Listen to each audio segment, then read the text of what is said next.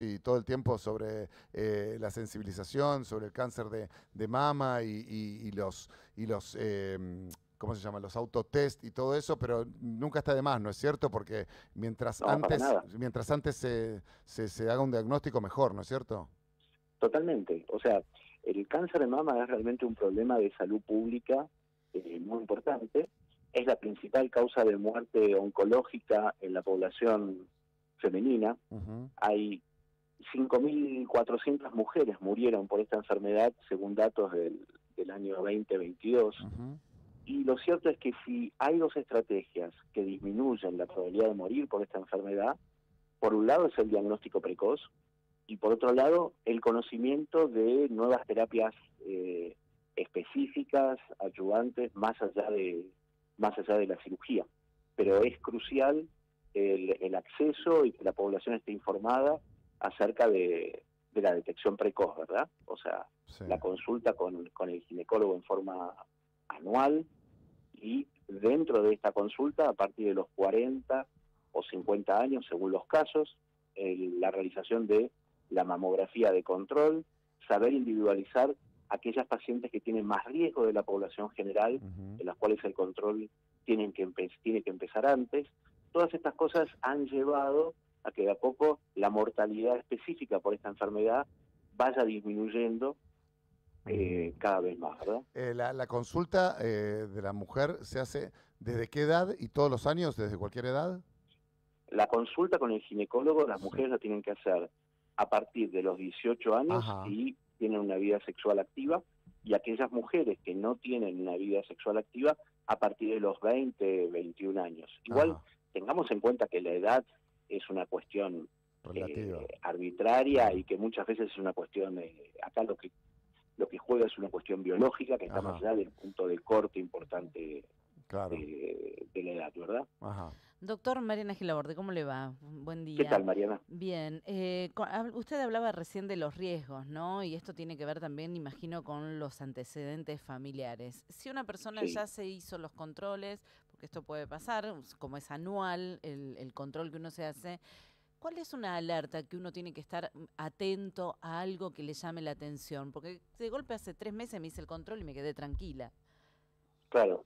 Eh, convengamos que con, con un control a los tres meses, en los tres meses eh, negativo de mamografía y examen físico, las posibilidades de que alguien tenga eh, un tumor palpable o un cáncer de mama son realmente eh, muy bajas, son prácticamente remotas.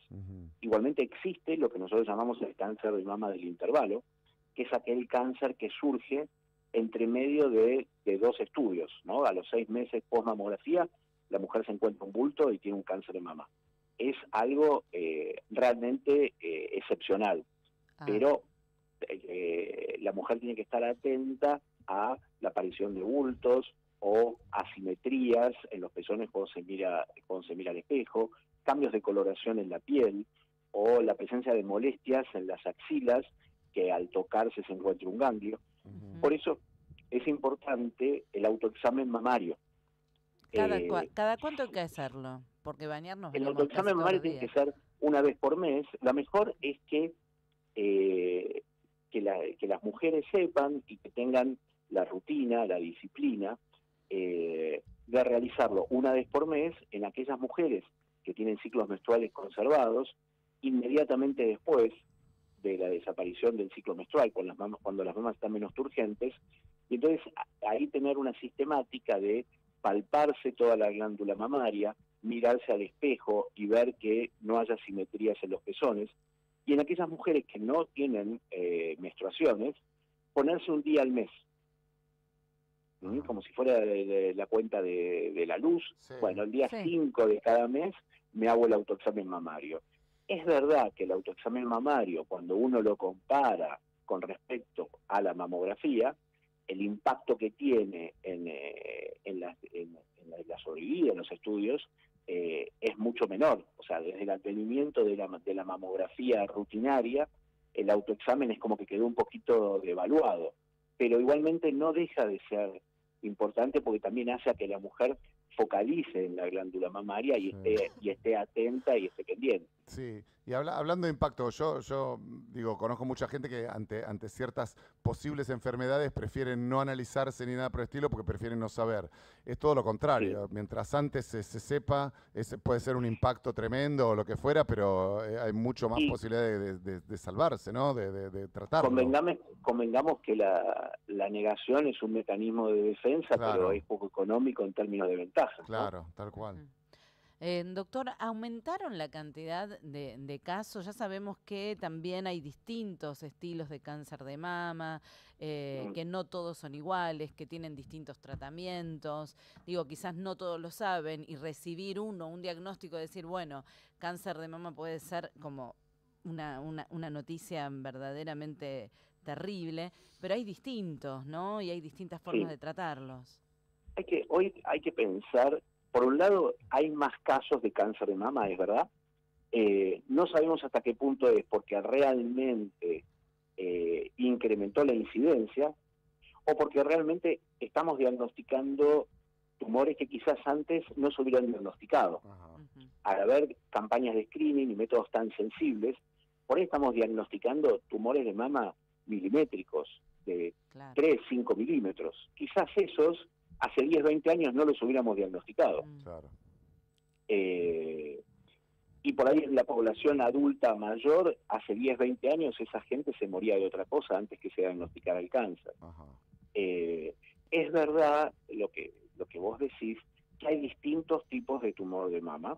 Eh, también esto ha traído como una ventaja terapéutica muy importante, la individualización de los distintos tumores. Por eso es muy importante que cada paciente que esté afectado de cáncer de mama, por un lado no lo tome como una sentencia de muerte.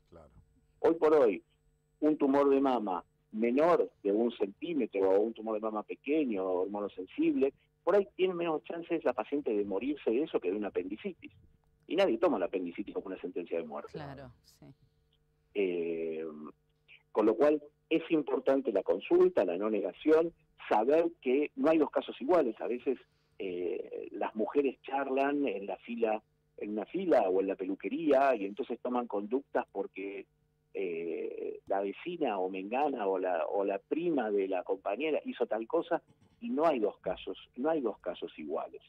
O sea, cada hoy por hoy se tiende a la medicina de precisión, al tratamiento individualizado en cada, en cada, en cada paciente por igual. Y desde ya que por supuesto no hay, no hay enfermedades, hay pacientes y cada paciente toma su enfermedad distinta y va a tomar tratamientos distintos. Los efectos adversos van a ser al mismo tratamiento, los efectos adversos van a ser distintos en una paciente y otra, con lo cual no hay dos pacientes iguales. Y bueno, no hay que tener miedo y, y, enfrentar el screening y, la, detección precoz, tomándolo como que no es una sentencia de muerte. No, al contrario, te, salva, te ayuda. Buen día, doctor Milton Rey, lo saluda. Con respecto al, miedo que usted hablaba recién, hay muchas pacientes que quizás con un falso positivo, después de un tratamiento exitoso, eh, quizás se asustan porque uno dice... Eh, o por lo menos las pacientes lo dicen, vuelve a aparecer, vuelve a estar, eh, y quizás ese falso positivo no es nada, pero muchas veces es molesto. ¿Qué le recomendaría a esas pacientes como para que este miedo... Te pido mil disculpas, se entrecortó un poco tu pregunta. Sí, Creo que me preguntabas por el falso positivo de los, de los métodos de, screening. Sí, ¿y qué le recomendaría a las pacientes como para que ese miedo no las paralice y, estén tranquilas? Como decía usted que no es una causa de muerte muchas veces, esto quizás también no lo sea. Perfecto. Eh, Mira, personalmente yo considero que el, eh, el falso positivo de un screening, considerando falso positivo, no, la paciente que tiene una biopsia positiva y que después no tiene patología, eso prácticamente es inexistente. Eh, pero esa paciente que tiene un resultado de una mamografía sospechosa o de una sospecha leve a moderada, que va a una biopsia, porque hoy por hoy una, una mamografía con un riesgo de patología maligna del 5%, se biopsia. ¿okay? Para mí el exceso de biopsias también en cierta medida es un fracaso del screening. Ok, muy bien. Porque si yo estoy en determinada población biopsiando y sometiendo a biopsias a de 100 pacientes a 5 para que sean positivas, en buena medida yo me cuestiono si ese 95% no estoy afectando en cierta manera su salud con el susto y, y demás. Es una cuestión mía personal. Ahora, también es verdad que es importante eh, sacrificar especificidad, o decir, bueno, es el precio que tenemos que pagar para diagnosticar tumores cada vez más chicos que va a redundar en chances de, curación, ¿verdad? Pues a la paciente que se encuentra a un estudio de screening positivo que va a requerir una biopsia, lo mejor que lo puede hacer es decir, mira, lamentablemente hay que transitarlo, el susto lo vas a tener, no quiere decir que no te asustes porque sería ridículo, eh, pero sabiendas que las posibilidades de que sea algo maligno son proporcionalmente pocas y que de ser algo maligno es, es algo que no va a impactar demasiado mal en, en tu salud, porque es una cosa que va a tener altas chances de curación. Ajá. Perfecto. Regio, quedó muy clarísimo. Clarísimo, Es el, doctor Gustavo Cortés, jefe de la sección patología mamaria del Servicio de Ginecología del Hospital de Clínicas. Entonces, resumiendo, en este mes de sensibilización sobre el cáncer de mama, eh, el autocontrol fundamental, la visita eh, una vez por año, sí o sí, al, ginecólogo, ginecólogo. Eh, seguramente tendrán privados, tendrán bueno, el Hospital de Clínicas, hay hospitales, sanatorios y demás. y nada, no tener miedo. Las cosas agarradas a tiempo seguramente se pueden solucionar mejor. ¿No? Así es. Les agradezco mucho el espacio para poder, para poder divulgar. Por favor, muchísimas gracias. Igualmente, doctor, que tenga un excelente día. 9.29 de la mañana. Diego Ramos está en Nacional. Ramos Generales, en tu radio. Soy Ruth desde Tucumán. Les habla Ángeles Schenleiner de Carmen de Patagones. Soy Alicia de Citibel en toda la Argentina. Muchas gracias por lo que ustedes hacen. Radio Nacional. Son excepcionales. Tu radio.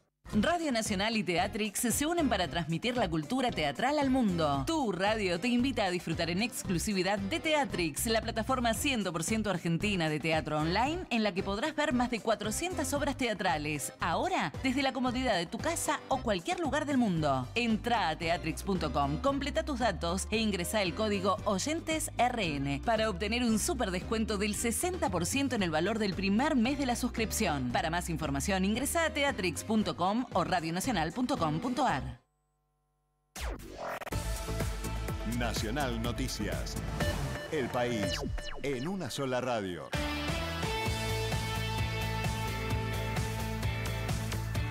Las nueve y media en la Argentina. La Cámara de Comercio informó que el consumo comenzó a recuperarse. Hernán Mundo.